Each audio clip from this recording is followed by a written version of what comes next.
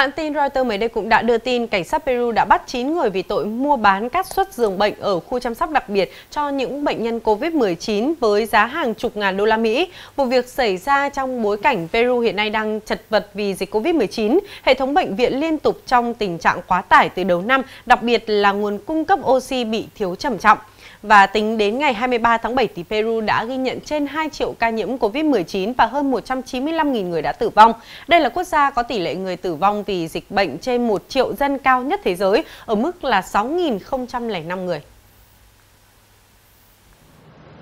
Reuters đưa tin cảnh sát Peru ngày 21 tháng 7 thông báo đã triệt phá một đường dây tội phạm bị cáo buộc là thu 21.000 đô la Mỹ của các bệnh nhân COVID-19 nguy kịch để đổi lấy suất nằm điều trị trong phòng ICU của một bệnh viện nhà nước. Chính quyền đã bắt giam 9 người trong một cuộc đột kích bao gồm cả các lãnh đạo của bệnh viện công El Hospital Guillermo Almenara Irigoyen tại thủ đô Lima. Vụ việc bị phanh phui sau khi cảnh sát nhận được lời tố cáo từ anh trai của một bệnh nhân COVID-19, người đã bị yêu cầu phải đóng 20.783 đô la Mỹ, tức là gần 480 triệu đồng để được đưa vào phòng ICU và được điều trị tại bệnh viện.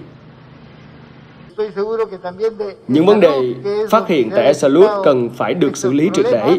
Việc dàn xếp giường bệnh trong các khu chăm sóc đặc biệt là hành vi độc ác, nghĩ cần phải xử lý thật nghiêm. Chúng ta phải chấm dứt tình trạng này ở tất cả mọi nơi. Bệnh viện El Hospital Guillermo Almenara Irigoyen nằm dưới sự quản lý của hệ thống bảo hiểm Ensalud và là nơi điều trị miễn phí cho người bệnh. Tuy nhiên, những bệnh nhân nặng phải xếp hàng chờ rất lâu để được sử dụng 80 giường ICU tại bệnh viện. Trong đỉnh dịch, nhiều bệnh nhân đã phải trả một khoản tiền lớn để chữa trị ở các bệnh viện và các cơ sở tư nhân khi hệ thống y tế công cộng gần như sụp đổ.